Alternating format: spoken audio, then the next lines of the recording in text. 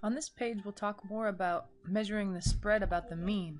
As we said before, we know how to measure spread about the median if that's what's used to measure center. But now, if we use mean as the center, how do we measure spread? We kind of talked about standard deviation, but we're going to get more into it in the next few pages. Uh, one intuitive way to measure the spread about the mean is to calculate the average distance of the data points from the mean. So all all the data points that are that are in your distribution, measure all their distances from the mean, how many units away are they, and then average them out. So it's, yeah, I think we talked about in the previous video, it's the mean of the means, the average of all the averages of the distances.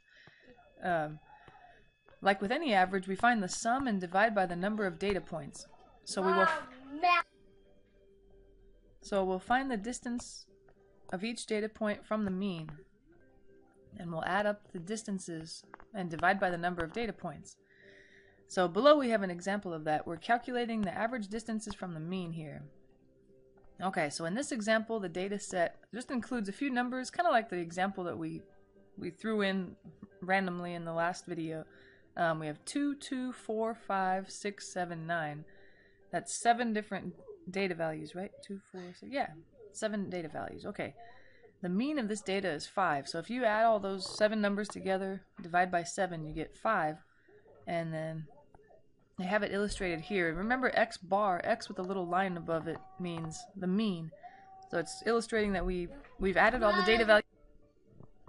And now down below is a is a dot plot of the data set. And it has the mean marked by a vertical blue line. We've seen that in um, previous in the previous module with the the median. Um, but here's the distribution um, we're going to calculate the distance of each data point from the mean by subtracting.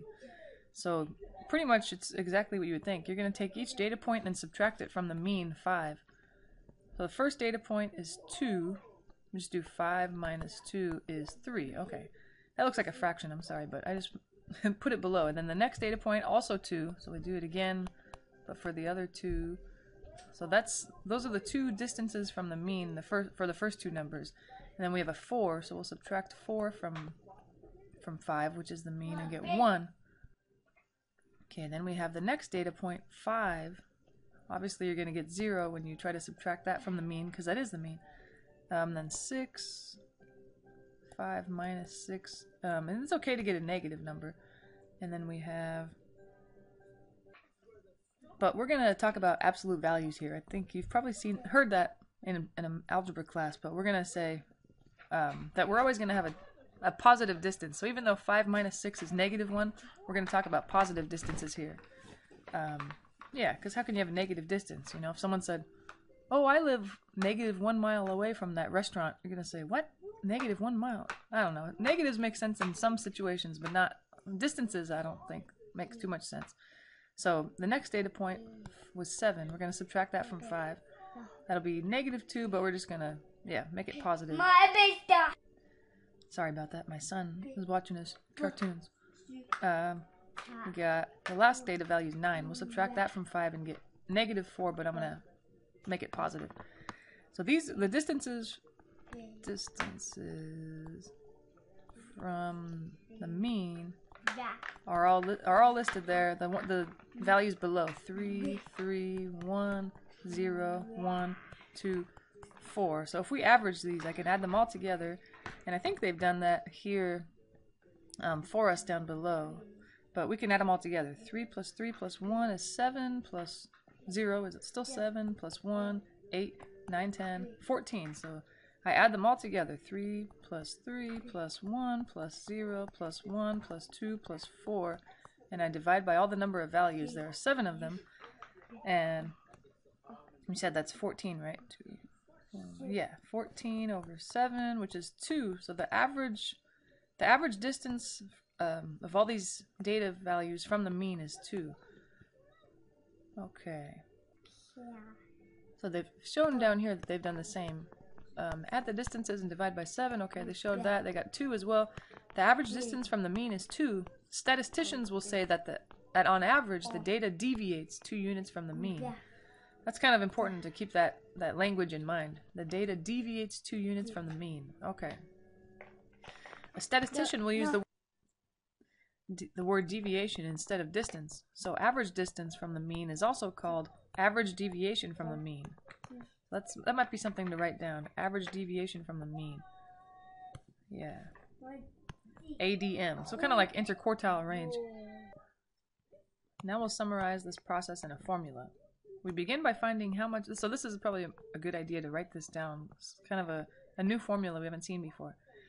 We begin by, by finding how much each data point deviates from the mean by subtracting. So take that data point and subtract the, the mean, x bar.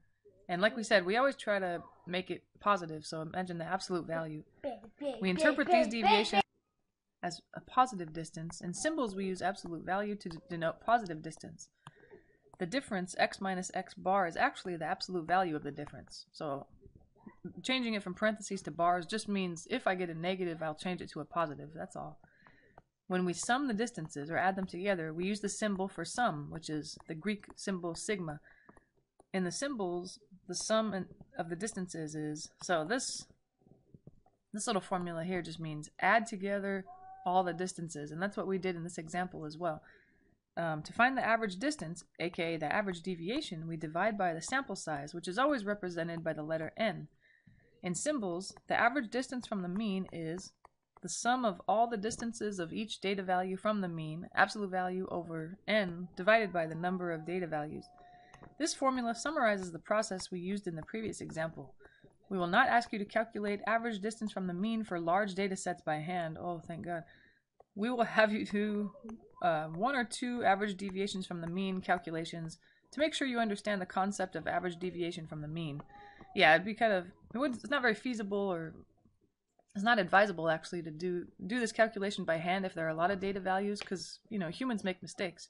We'd make a calculator do it or yeah, a program or a computer.